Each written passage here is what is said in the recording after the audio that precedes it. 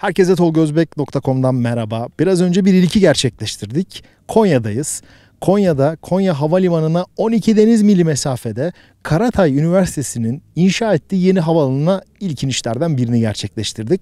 Halen çalışmalar devam ediyor. Bizim indiğimiz pist önümüzdeki aylarda planör için kullanılmaya başlanacak. Gördüğünüz zeminin üzerine çim ekilecek ve gelecek yıldan itibaren burada motorsuz hava taşıtları planörler uçacak. Hemen yanında ise 1500 metrelik altı beton, üstünde asfalt kaplama olan bir pist faaliyeti önümüzdeki günlerde başlayacak ve Karatay Üniversitesi burada açtığı pilotaj bölümüyle birlikte kendi meydanında uçuş eğitimlerine başlayacak. Gelin bugün Karatay Üniversitesi'nin pilotaj bölümünü şöyle bir tanıyalım. Dünyada havacılık nereye gidiyor? Gerçekten pilot ihtiyacı son bu pandemiden sonra nasıl devam edecek? Bu soruların cevaplarını arayalım. Bugün havacılık sektörü tarihinin en zorlu kriziyle karşı karşıya. Ancak hava yolları uçuşların başlamasıyla yavaş yavaş toparlanıyor. Yapılan araştırmalar hızlı küçülmenin sonrasında yeni kuralların devreye girmesi ve ardından çabuk bir toparlanmaya işaret ediyor. Hedef 2023'te tekrar 2019 rakamlarına dönülmesi. Dünyanın en büyük uçak imalatçıları Boeing ve Airbus'un da yaptığı tahminler bunu gösteriyor.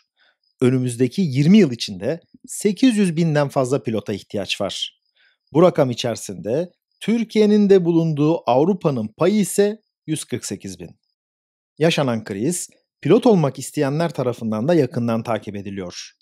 Dünyanın her yerinde geçerli olabilecek pilotluk mesleğinin temelinde iyi bir eğitim oluşturuyor.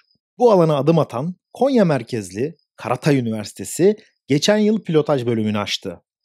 Kısa sürede aldığı planörlerle, uçaklarla, eğitim standartlarıyla farklı bir noktaya ulaştı.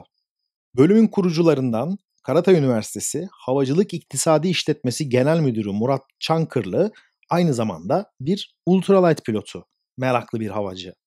Karatay Üniversitesi'nin en önemli farkının kendi hava meydanı olduğuna dikkat çekiyor. Biz bu yapıyı kurarken çok istişare ettik. İstişare ederken de e, pilotaj e, bölümünün veya pilotlukla alakalı okulların karşılaştığı eksiklikler ve problemler neler? İlk önce bunları masaya yatırdık. Türkiye'de çok güzel okullar, çok güzel yapılar var ama ana sıkıntılardan biri çalışılacak meydan olarak karşımıza çıktı. Biz bu yapıyı kurarken öncelikle kendi meydanımız olursa bu yapının çok sağlıklı olacağı ve başarıya ulaşacağını düşünmüştük. Onun için bölümü kurmadan önce 4-5 yıl önceden biz meydan çalışmasına başladık. Ne zaman ki meydanı yapabileceğimizi işte yerine aldık, e, fizibilitelerini bitirdik, yapabileceğimize kanaat getirdikten sonra yapıyı kurmaya başladık. En merak edilen konulardan biri de burs.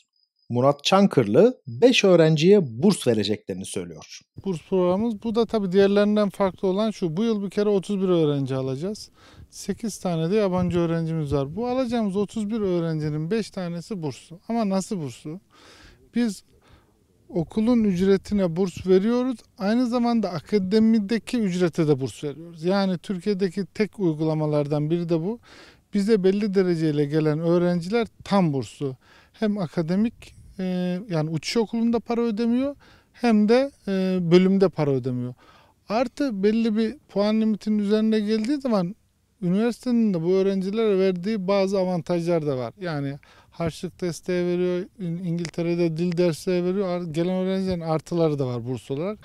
Herhalde Türkiye'de bu burs sadece bizde var. Bir pilot adayı için her zaman alternatifler yani yedek meydan çok önemlidir.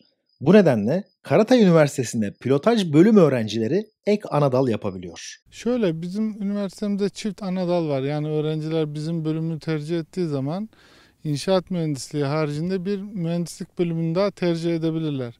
Pilotluk bölümü biraz zor. Tabii çift anadal belki üzerlerine biraz daha yük bindirecek ama pilotluk mesleği siz de biliyorsunuz ki disiplin gerektiren bir meslek. Öğrenciler burada 3-4 yılda e, dişini sıkarsa bir ikinci dalın lisansını da alabilirler. Üniversitenin farklarından biri de uçuş eğitiminin motorsuz hava aracı olan planör ile başlatılması. Bunun nedenini eğitim müdürü Süleyman Doğan anlatıyor. Ee, dünyada birkaç tane üniversite uyguluyor. Türkiye'de uygulayan başka bir yer yok. Birincisi planör pilotların ne kadar spesifik ve yetenekli pilotlar olduğunu hepimiz biliyoruz. Sürekli emerjansı inerler. İkincisi e, günümüzde son jenerasyon benim gözlemlediğim e, pilotlarda birazcık e, bilek anlamında tembellik oluşmaya başlamış. Biz öncelikle planörle pilotaj yeteneklerini geliştirip sonrasında motorlu ve işte sistemler, e, genel havacılık kültürünü yükseltmeyi hedefledik. Biraz zor bir iş ama altından kalkacağız. Pilotaj bölümünün ilk öğrencileri neden Karatay Üniversitesi'ni seçtiklerini anlatıyor. Ya biz de başta düşünürken, e, tercih yaparken biraz ürktüm açıkçası ilk başta olduğu için, ilk öğrencileri olacağımız için. Ama beni çok cezbettiler yani kendi pistimizin olması, 16 tane uçağımızın olması, yani iki tane planör, başta planör eğitimi veren çok e, az az okul var ülkede. O beni cezbetti açıkçası. KTO Karat Üniversitesi'ni seçmeyi çok özellikle seçtim. Çünkü planör eğitimi bence çok önemli bir pilotaj eğitiminde. Ee, tabii bunun yanında okulun yeni olmasıyla beraber pistinin ve uçakların da yeni olması tercihlerimizi çok etkiledi. Konya'da köklü geçmişiyle Karatay medreselerinden gelen kültür üniversiteye ticaret odası eliyle yansıtılmış. Konya ekonomisine katkıda bulunacak dallarda eğitime odaklanan üniversite şimdi pilotaj bölümüyle gelecek için çok önemli bir adım atıyor. Bu yatırım da ilk başta Karatay Üniversitesi'nin bir yatırımı gibi gözüküyor ama eğer Türkiye'ye örnek olursa bu yatırımlardan 4-5 tane daha örnek proje oluşturabilip Türkiye'nin belli yerlerinde yapılabilirse Türkiye havacılık sektöründe söz sahibi bir yere gelir. Bilhassa pilot veya öğrenci öğretmen yetiştirme noktasında. Konya Türkiye'de havacılıkta askeriyeden sonra sivil alanda da önemli bir eksikliği kapatacak. Karatay Üniversitesi Pilotaj Bölümü bu açıdan kendi meydanıyla farklı eğitim sistemiyle Türk havacılığına ve dünya havacılığına yeni pilotlar kazandıracak.